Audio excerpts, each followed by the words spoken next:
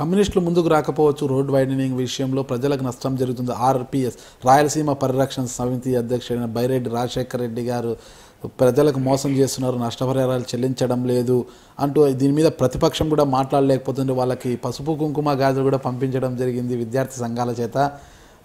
వాళ్ళకి మీరు ఇచ్చే సమాధానం ఏంటి?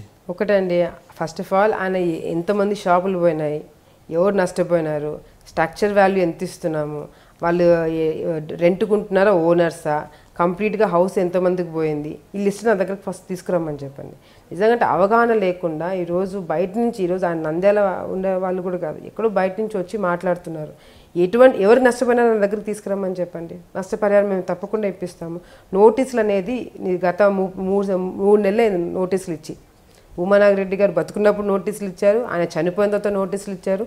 మొన్న మళ్ళీ అందరితో కూర్చొని మీటింగ్ పెట్టి మీకు ఇంత వస్తుంది స్ట్రక్చర్ వాల్యూ మీకు ఈ విధంగా డబ్బులు ఇస్తామని చెప్పి కూడా అటు కన్నబాబు గారు ఆర్డీఓ గారు కలెక్టర్ గారు ఏపీ టిట్కో వాళ్ళు ప్రతి ఒక్కరు అందరూ కూడా మీటింగ్లు పెట్టి వాళ్ళందరినీ కూర్చోబెట్టి మాట్లాడడం జరిగింది. ఎవరు కూడా ఈరోజు ముందుకొచ్చి ఆయన ధర్నా ఆయన ముందుకొచ్చారు. ఆయనతో పాటు ఎందుకు లేరు ఎవరు? ఎవరైనా వచ్చి ధర్నాలు చేయాలి కదా. ఆయన ముందుకు వచ్చినప్పుడు ఎవరినో కూర్చొని ఆయనతో పాటు ధర్నా చేయాలి కదా. ఎవరు లేరు.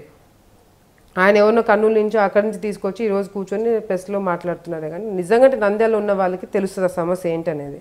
అది దగ్గరగా మేము అందరం చూసాము. ఎవరు కూడా ముందుకొచ్చి ధర్నాలు కానీ గొడవలు కానీ చేయట్లేదు. అందరు చాలా సాఫీగా ఉంది. రోజు వాళ్ళని కలుస్తున్నాము వాళ్ళకి భరోసా ఇస్తున్నాము.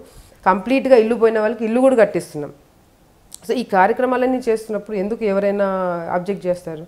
సో ఏ రోడ్ వైడింగ్లో ఎటువంటి ప్రాబ్లం లేదు అంతా చాలా స్మూత్గా నడుస్తుంది. రాయలసీమ పరిరక్షణ పేరుతో అంటే రాయలసీమకు జరుగుతున్న అన్యాయాన్ని ప్రజలకంతా వివరిస్తూ ఆయన ముందుకు వస్తున్నారు కదా ఆయన పార్టీ నుంచి రాయలసీమ పరిరక్షణ పరి- రాయలసీమకి ఈ విధంగా అన్యాయం జరుగుతోంది సాగు తాగునీటి విషయంలో అయితేనేమి డెవలప్మెంట్ విషయంలో విద్యా ఉపాధి అవకాశాల్లో కూడా అంతా అన్యాయం జరుగుతోందంటూ ఆయన ఎలుగెత్తి చాడుతూ ప్రజల్లోకి వస్తున్నారు. ఇదంతా కూడా ఎన్నికల్లో టీడీపీకి ఏమైనా డ్యామేజ్ అవుతుందని మీరు భావిస్తున్నారా?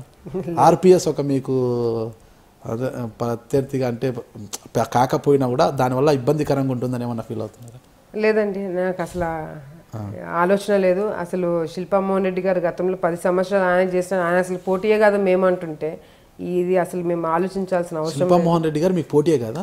ఇప్పుడు అభివృద్ధి కార్యక్రమాలు ఇంత పెద్ద స్థాయిలో జరుగుతున్నప్పుడు ఈ పది సంవత్సరాలు ప్రజల్ని ఇబ్బంది పెట్టిన ఆయన ఈరోజు కేవలం ఆయనకు ఎమ్మెల్యే టికెట్ రాదనే ఒక ఆలోచనతో పార్టీ మారిన ఆయన ప్రజల గురించి ఆలోచించకుండా ఇప్పుడు ఎలక్షన్ వస్తే బై ఎలక్షన్ వస్తే కార్యక్రమాలన్నీ ఆగిపోతాయి ఎలక్షన్ కోడ్ వస్తే అన్నీ ఆగిపోతాయని తెలిసిన వ్యక్తి ఈరోజు ఎందుకు వెళ్ళినారు? సో అటువంటి వ్యక్తిని మేము పోటీ అనుకోవడం కూడా కరెక్ట్ కాదని మేము అనుకుంటున్నాము. మొత్తం ఇది one side war one side అవుతుంది అనుకుంటున్నారా? వార్ వన్ సైడ్ కాదండి ఇది అభివృద్ధి కార్యక్రమాలు. ఈరోజు అభివృద్ధి కార్యక్రమాలు కావాలని అనుకున్న వాళ్ళందరూ ఒక సైడ్కి వచ్చేస్తున్నారు. మాకు ఇంకా చాలు మేము పడిన అవస్థలు కానీ మేము పడిన ఇబ్బందులు కానీ మేము కష్టాలు కానీ ఇంకా పడినవి నంద్యాల ప్రజలు చాలా అనుకొని అందరూ కూడా ఒక గూటికి చేరుకున్నారు. మాకు అభివృద్ధి కావాలా? మాకు తెలుగుదేశం పార్టీలోనే అభివృద్ధి కార్యక్రమాలు జరుగుతాయి. వీళ్ళైతేనే మా గురించి ఆలోచిస్తున్నారు. భూమా కుటుంబం నుంచి వచ్చిన వాళ్ళే మాకు న్యాయం చేయగలుగుతారు. వాళ్ళ మాట మీద వాళ్ళు నిల్చుంటారని చెప్పి ఒక ఆలోచనతో అందరూ ఒక గూటికి చేరుకోవడం జరిగింది. For more updates please subscribe to I dream media